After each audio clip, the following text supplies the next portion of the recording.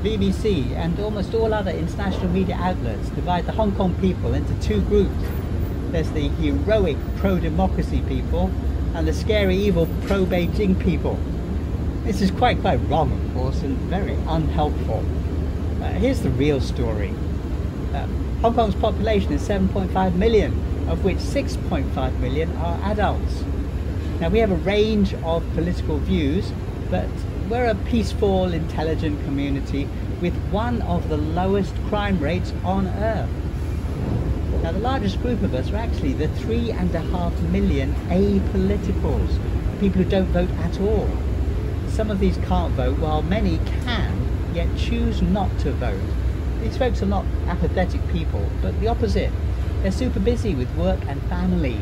They're making businesses, making babies and making deals, often all at the same time. Then there are two smaller groups of about one and a half million each. Now those do vote regularly. Uh, both groups are pro-democracy and both are pro-human rights. That's really important. But they have different attitudes to China and to mainland Chinese immigrants. One is hostile to China and the other is friendly. Now the international media always presents the first group, the China dislikers, uh, as if that group speaks for all of Hong Kong people. But that's not true at all. Now there's also a fourth group, thankfully uh, by far the smallest in number, and those are the radicals or localists. These are rather jingoistic anti-immigrant groups who want to fight, I mean fight literally with petrol bombs for independence of Hong Kong from China uh, against the wishes of the great majority of Hong Kong people.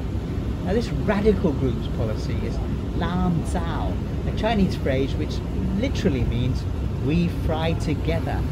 It's often translated as mutual destruction. Their slogan is, if we burn, you burn too. Now the national security law was specifically designed to deal with that last group of people. Uh, more than 200 Hong Kong people were involved in the early discussions about that new law. And that new law is not the end of this city.